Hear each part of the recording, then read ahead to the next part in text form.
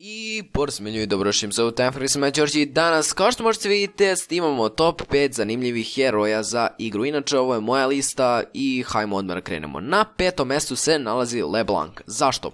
Zato što ona može da napravi neke odlične outplayeve i džukove sa svojim V i naravno ultom ako imate aktivirano V, zašto vam ult ponavlja ili prethodnu magiju konkretno, uh, naravno sa pasivom isto možete lepo da zajebete protivnika, jednostavno krenete sa pasivom na njega, on misli da ste da ste vi taj vaš klon, tako da eto. Evo vidite ovdje kako je lepo ona Lisina zajebala i ono, ostala je živa posle.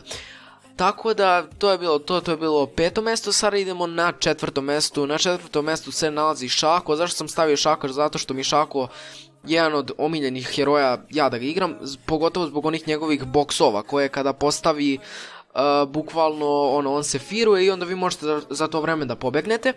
Ili jednostavno upalite Q, vi se nalazite na drugoj strani, on, on misli da ste vi otišli napred i totalno ga zajebete.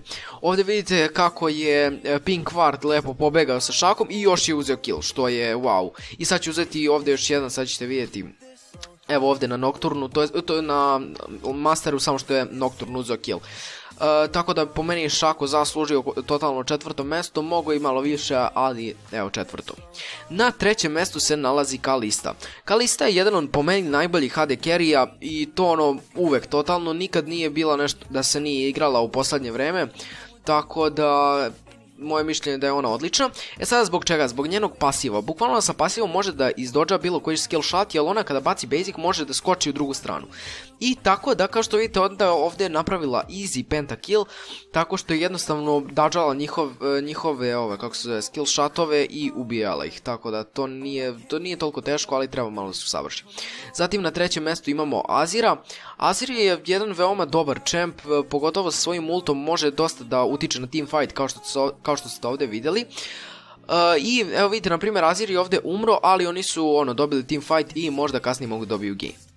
I prvi na našoj listi je Lee Sin. E sad vas zašto Lee Sin? Pa jednostavno Lee Sina ako naučite da igrate, on može da bude totalno najbolji uh, koji postoji u celom, uh, u celom, ono, u celoj igrici. Zašto?